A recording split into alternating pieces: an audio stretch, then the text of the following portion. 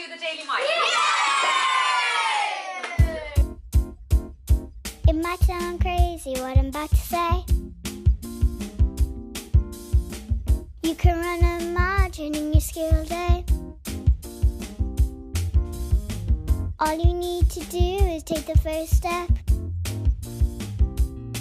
Once you start, you're on your way,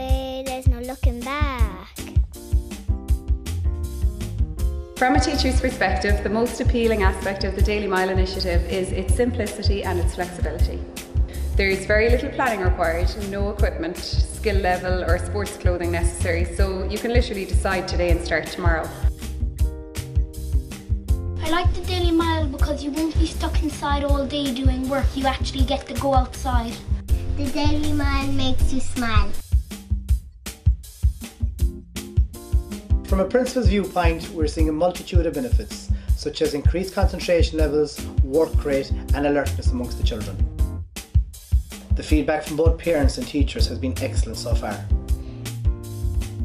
The Daily Mile is a simple concept, we make it part of our day. The Daily Mile